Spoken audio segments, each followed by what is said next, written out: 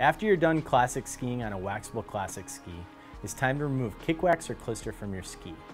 Swix makes two types of solvent for this, base cleaner and a natural citrus solvent. Before doing this process, it's important to wear your PPE. Start by taking a plastic scraper and removing excess kick wax from the base.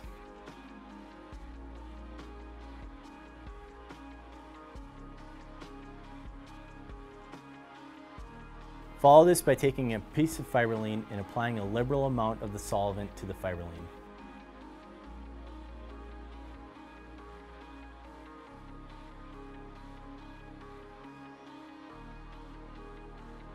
Scrub back and forth in the kick zone until you've removed all kick wax.